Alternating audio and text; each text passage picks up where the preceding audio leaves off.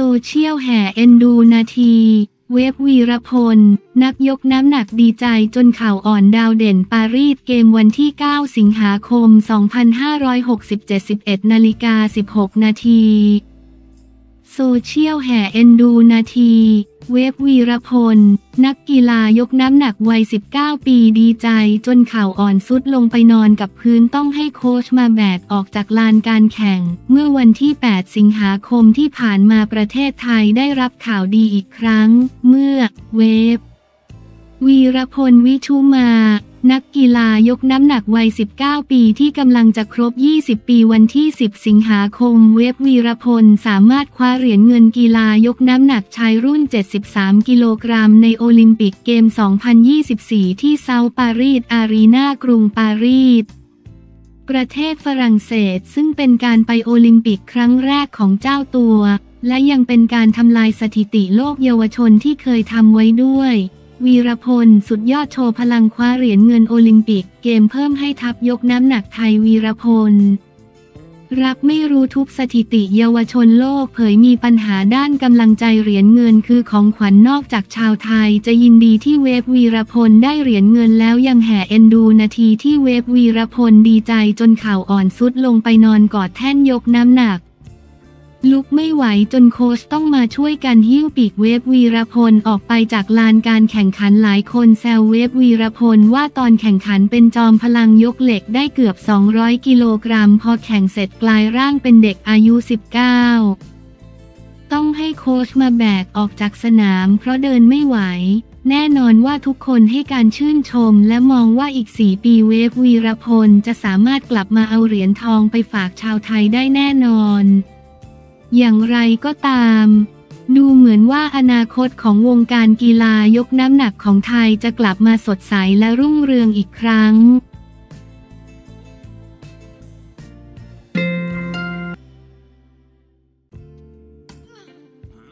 สุพิสารรับ นัทพงศ์ถูกเสนอนั่งหัวหน้าพัก สราวุธ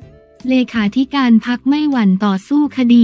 44 สสการเมืองวันที่ 9 สิงหาคม 2567 9นาฬิกา 19 นาที สุพิสาร รับ นัทพงศ์ถูกเสนอนั่งหัวหน้าพัก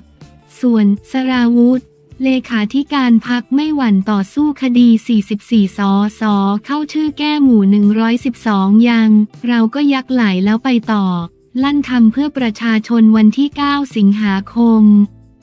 67 ที่อาคารไทยซัมมิตทาวเวอร์ พลตำรวจตรีสุพิศาล ภักดีนฤนาถอดีตสสบัญชีรายชื่ออดีตพรรคก้าวไกลเปิดเผยถึงการประชุมสสอดีตพรรคก้าวไกลช่วงคืนก่อนหน้าว่ามีการอำลาของกรรมการบริหารชุดเก่า กล่าวขอบคุณพร้อมให้กำลังใจซึ่งกันและกัน โดยบรรยากาศเป็นไปอย่างคึกครื้นสนุกสนาน จากนั้นแบ่งกลุ่มไปรับประทานอาหารกันต่อ ที่ร้านอาหารแห่งหนึ่ง ขณะที่สสส่วนหนึ่งยังประชุมต่อจนดึก ซึ่งในที่ประชุมมีการโหวตตามที่มีแคนดิเดตสองชื่อคือนางสาวสิริกัญญาตันสกุล และนายนัทพงษ์เรืองปัญญาวุฒิตามกระแสข่าวซึ่งผลโหวตของสส ให้นายนัทพงศ์เป็นหัวหน้าพักส่วนเลขาธิการพักคือนายสราวุธใจหลัก ซึ่งจะนำรายชื่อเสนอเข้าที่ประชุมเช้าวันนี้ ส่วนสสอดีตพักก้าวไกลยืนยันว่ามาครบยกเว้นเฉพาะนายจุลพงศ์อยู่เกตสสบัญชีรายชื่อ อดีตพักก้าวไกลซึ่งจะต้องติดตามดูอีกครั้งหนึ่งในวันนี้พลตำรวจตรีสุพิสารเปิดเผยอีกว่า วาระวันนี้จะเป็นการประชุมเพื่อเลือกกรรมการบริหารพักชุดใหม่ ตามขั้นตอนหัวหน้าพักคนเก่าต้องลาออก แล้วพิจารณาเลือกหัวหน้าพักคนใหม่ หากหัวหน้าพักคนใหม่ได้รับการโหวตเห็นชอบจากที่ประชุมแล้วขั้นตอนต่อไปจะเป็นการเสนอผู้ดำรงตำแหน่งกรรมการบริหารพัก ตั้งแต่เลขาธิการเฮรัญยิกโคศก รวมถึงการตั้งชื่อพักข้อบังคับพัก พร้อมยอมรับว่าเป็นไปตามรายงานที่ระบุว่าพักประชาชน ส่วนเรื่องคำร้องปปชต่อ 44 สสทีที่เข้าชื่อแก้มาตรา 112 เข้าข่ายผิดจริยธรรมหรือไม่ชี้ว่า เป็นไปตามที่ปปชได้กล่าวตามคันลองของกฎหมายทางพัก พร้อมที่จะต่อสู้และเมื่อถึงเวลาพักจะใช้กฎหมายดำเนินการตามคันลองเช่นกันพลตำรวจตรีสุพิสารยังทิ้งท้ายว่า เราก็ยักไหลแล้วไปต่อ ซึ่งหลังจากนี้จะมีการต่อสู้หลังถูกยุบพักหรือไม่ มองว่าเป็นเรื่องปกติทางการเมืองแต่ยืนยันที่จะทำหน้าที่เพื่อประชาชน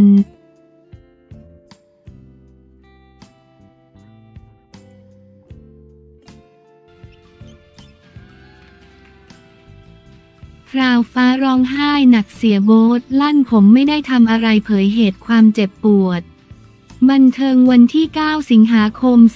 2567 13นาฬิกา56 นาที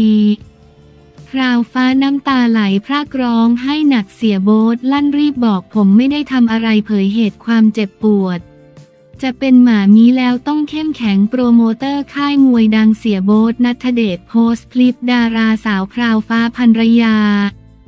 กำลังร้องไห้อย่างหนักน้ำตาอาบแก้ม พร้อมทั้งเสียโบทรีบบอกเลยว่า ผมไม่ได้ทำอะไรนะครับ ทุกคนผมออกตัวก่อนเลยนะครับ ผมไม่ได้รังแกอะไรภรรยาผมเลย ผมดูแลภรรยาผมดีมากตื่นตั้งแต่เช้าพาเด็กไปฝากไข่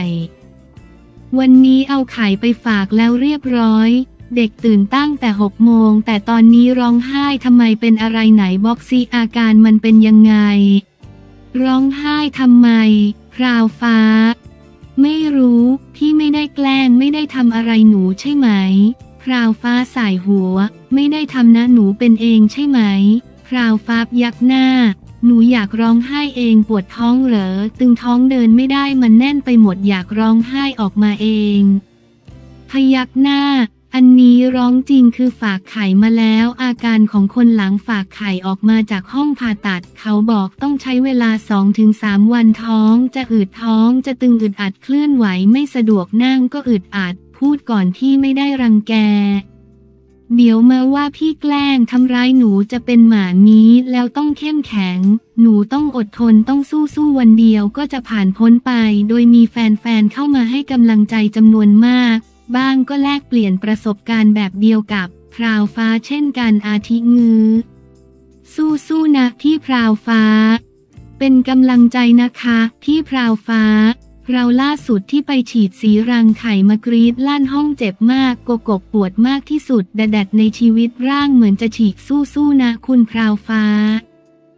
เคยเป็นค่ะ ตอนเก็บไข่เราร้องไห้เหมือนกันค่ะ